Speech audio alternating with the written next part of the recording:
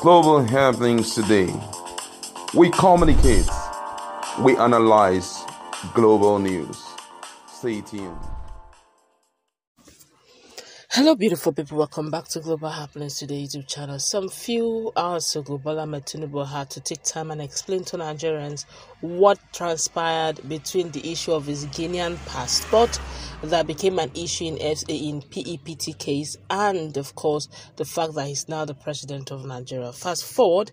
Um, FBI, United States of America, and FBI have decided also to mention over that same issue of um, 460,000 uh, uh, seizure, a dollar forfeiture that took place. And of course, Nigerians are earnestly waiting for the full details of that. We're going to give full details on what transpired. But before we do that, kindly subscribe to our channel by clicking on the right subscribe button beside it. You see bell notification icon.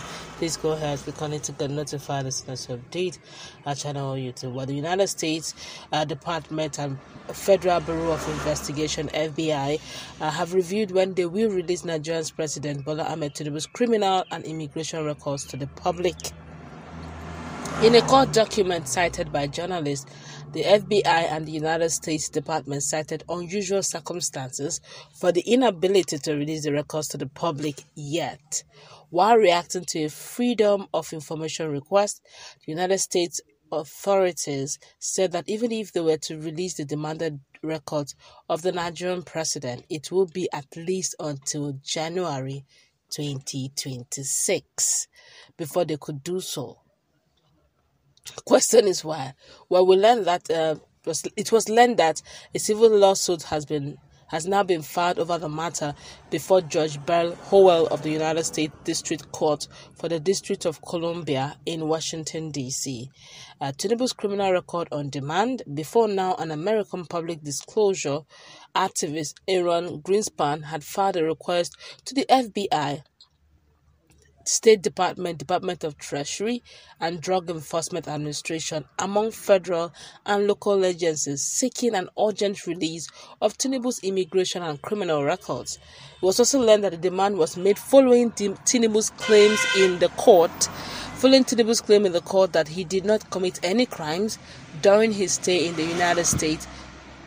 While President Tinubu is also said to have asserted ownership of his identity, despite strong indications he might have changed names and education records in the past. Recall that recall that there have been a series of controversies over Tinubu's uh, President Tinubu's real identity. Tinubu's contradictory records, the former governor of Lagos State educational records contain omissions and contradictions that are yet to be cleared to the to the general public. While, for instance, the Nigerian president has said under oath to the Independent National Electoral Commission INEC while seeking to be Lagos governor in 1999 that he attended the prestigious University of Chicago. The university has since disowned Tinubu. Another American school, Chicago State University, confirmed a Bola Tinubu attended the school but did not say whether it was the Nigerian president. Documents from the school showed that a person bearing Bola who attended the school in 1970s was actually a female. Tinubu also stated under oath in 1999 that he attended primary and secondary schools in Lagos and Ibadan in 1950s and 1960s, but he expunged the, those assertions from his latest INEC application form ahead of this year's general elections in February. He did not explain why he removed the claims, although there was no evidence that the primary school he said he attended ever existed in Nigeria. Recall that Tinubu was also named as a launderer of proceeds of what took place in 1993 in United States, of which he was reportedly forfeited 460,000 US dollars as at that time.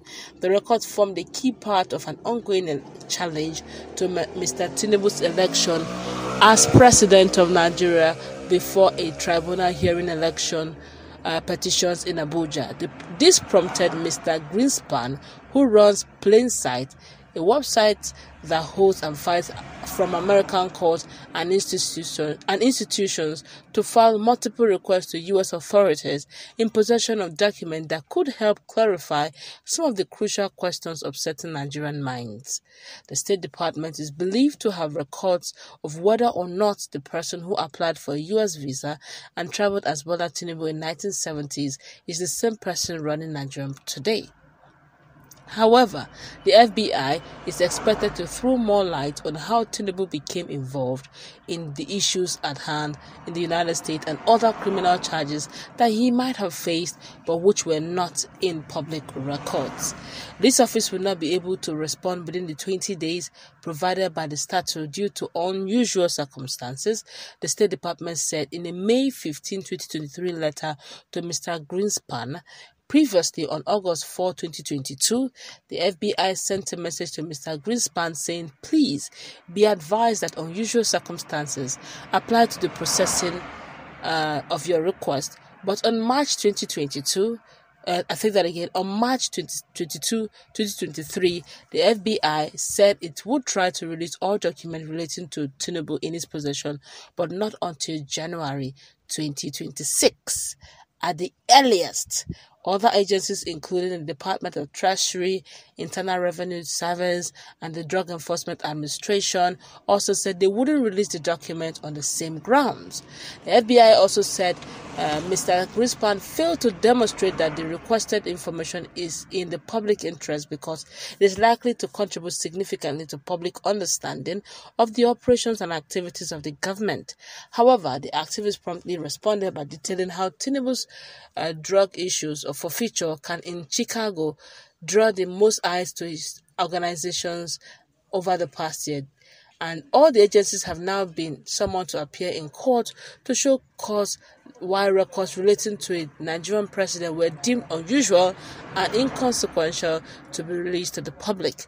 On July 17, Assistant U.S. Attorney Gerald Littman entered an appearance at the, as the lawyer representing all the agencies and promptly requested a delay until August 28, 2023 to file a response to the, to the lawsuit which was instituted on June 12, 2023 by the People's Gazette.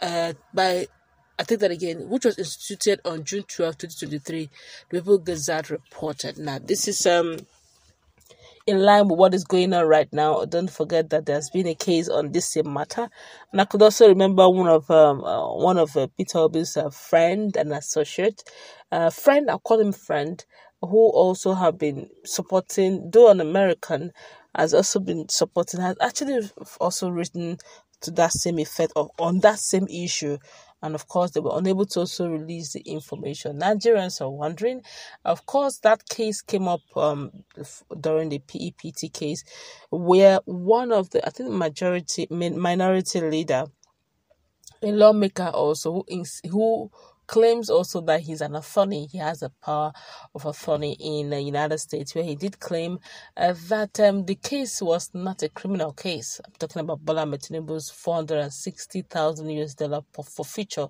So it was not a criminal case, but just a civil case and all that. So Nigerians were really curious. We want to hear from the horses man. We want to hear from the agencies involved in the United States. Let's go wrap it up. Let's meet in that comment section.